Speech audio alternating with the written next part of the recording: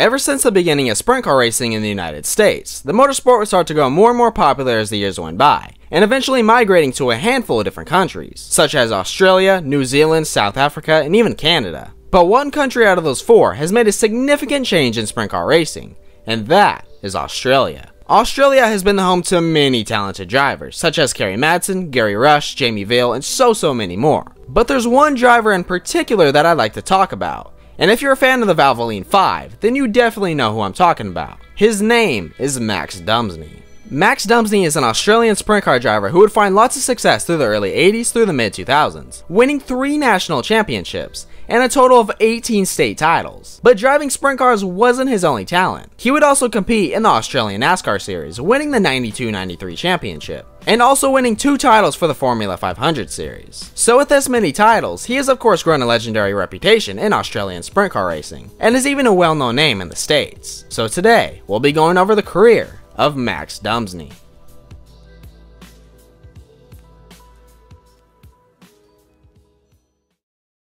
Born on July 12, 1959, in Nullawarre, Victoria, Max would spend his free time at the races watching his hero Bill Wigzell run around the banks of Premier Speedway. And he would get a job as a motorbike apprentice at Honda. So being familiar with bikes, he would start his career in motorbike racing in 1974. But his two-wheeled career would be cut short after getting into a terrible crash hitting a cow and breaking his arm in 25 places, and also his leg. So after this incident, Max knew that two-wheeled racing was just not for him, and he would move to four-wheeled racing in 1978, starting his Formula 500 career. But it wouldn't take long for him to dominate, and then he would win the 1980 Australian Formula 500 Championship, and would repeat that success in 1982. But during this time, Max didn't have much hope for a future in racing, as he said in an interview for Sydney Speedway's YouTube channel in 2014. No, not at all.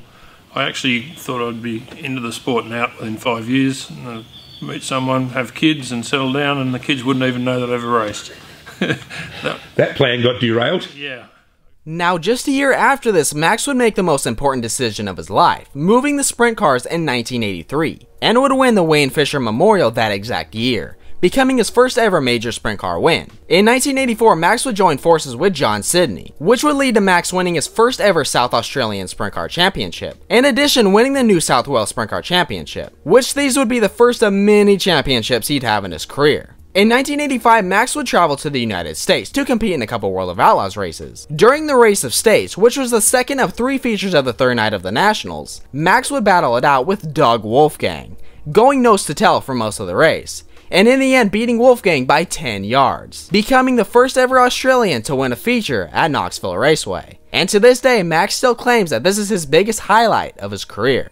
1988 would be a very important year for Max, as Valvoline would start their lifelong sponsorship with him, which they are still sponsoring his family's team to this day. So with having one of the best sponsorships in motorsports, he would have record-breaking success in the early 90s, winning the 89-90 World Series Sprint Car Championship, and in the span of 1991 through 1992, Max would win the 1991 Australian Sprint Car Championship, making it his first ever national title, and adding on two huge victories in 1992, that being the Grand Annual Sprint Car Classic and the Australian Speed Car Grand Prix.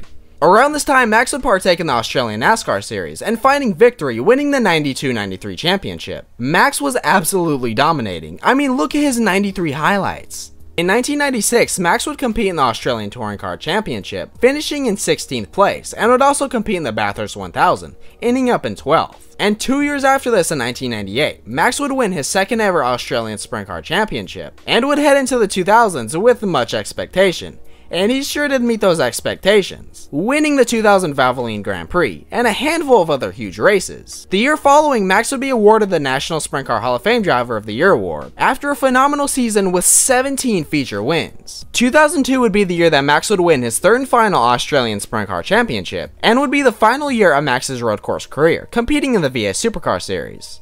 Through the rest of the 2000s, Max would have a couple more state titles and many more big races, such as the Cricky Boy Shootout, the Australian Sprint Car Open, and the President's Cup, just to name a few. Max wouldn't have much of an eventful early 2010s, other than placing third in the 2010 Knoxville Nationals World Challenge. He would eventually start finding success again in 2014, winning the New South Wales Sprint Car Track Championship and the second annual Sprint Car Classic. The year after in 2015, Max would win the New South Wales Sprint Car title, making it his 18th and final state championship. This year, Max would also get an annual race named after him, called Max's Race, and is still being held each December at Premier Speedway.